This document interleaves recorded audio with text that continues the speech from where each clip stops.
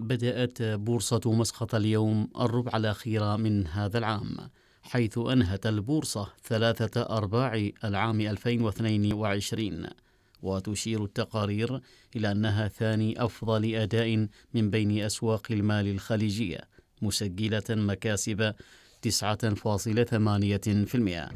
مؤشر بورصة مسقط واصل الأداء الإيجابي للأسبوع الثاني على التوالي حيث افتتح جلسات شهر أكتوبر على ارتفاع بنحو 1% وصولا إلى مستوى 4572 نقطة رافقه نشاط في قيمة التداول بلغت ثلاثة ملايين ومئتين وواحد وثلاثين ألف ريال عماني لترفع بالقيمة السوقية للشركات المدرجة إلى 23 مليارا و220 مليون ريال عماني.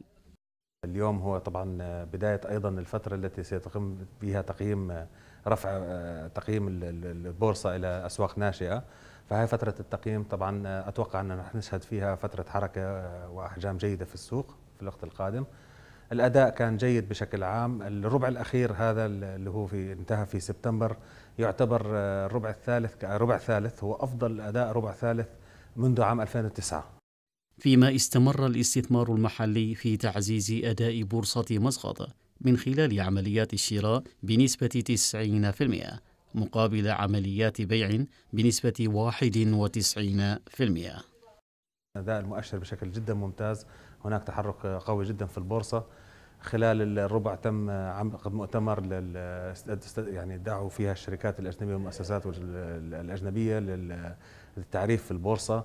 وهذا سينعكس إيجابي أيضا مع رفع التصنيف الائتماني للسلطنة. يعني عملية التصنيف الائتماني طبعا ترجع البورصة إلى مصاف الدول البورصات القابلة للاستثمار بالتالي على المؤشرات العالمية.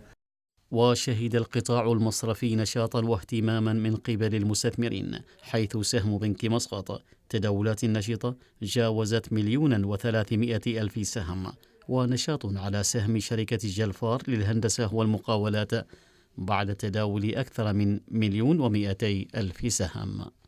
شهدت البورصة المحلية ارتفاعات خلال الفترة الأخيرة نظرا لتمركز بعض المحافظ الاستثمارية في أسهم الشركات القيادية ترقبا لنتائج الربع الثالث للشركات المدرجة حيث تمركزت مشتريات المؤسسات في أسهم القطاع البنكي الذي شهد ارتفاعات جيدة مدعوما بارتفاع أسهم بنكي ظفار والوطني العماني. سعود بن سعيد البعولي مسقط.